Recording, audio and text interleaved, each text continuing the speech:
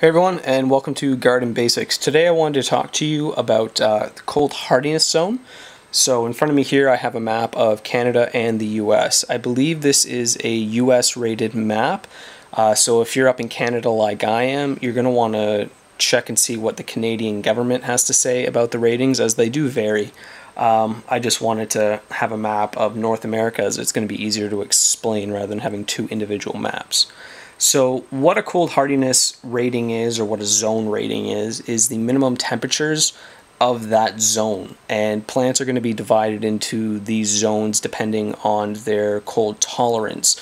So, um, say a zone 7 plant, which is fairly warm somewhere around this region here, is not going to be able to survive a zone 5 somewhere up around here during the winter months as it's just too cold. So, you want to be mindful of that when you're buying your plants. You definitely don't want to be buying um, warmer plants uh, in a colder zone unless you plan on keeping them inside. Um, so like I said, I'm here in Toronto, which uh, on this map I believe is a Zone 4 rating, but uh, the Canadian government uh, in reality has it I think at a Zone 5B.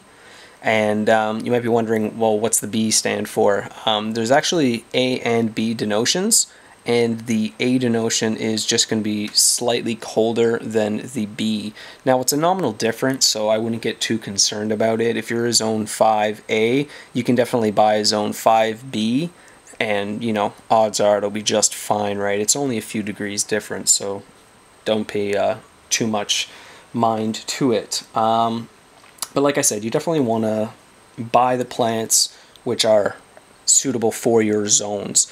So I have a couple of hibiscus plants and a hibiscus tree which love warm weather so somewhere around these areas of the southern United States, I believe 7 through 9 is where it would flourish the best. But like I said, I'm up here in a zone 5.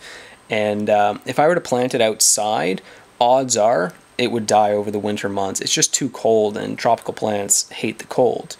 So what I've done is I've kept it in a pot, and I'm going to bring it inside during the winter, where I'm going to have it about you know 75 degrees Fahrenheit in my house, and just hope that it survives, and then you know, during the spring and summer, I'll leave it outside where it's been uh, right now, and it's doing quite well. So keep that in mind. You can buy um, plants that are not suitable for your zone as long as you um, properly pot them and keep them in an area where they'll flourish so the you know sunny spot uh, getting a lot of warmth you can plant them in the ground but just don't expect them to come back um, and yeah, that's essentially what the cold hardiness uh, zone is.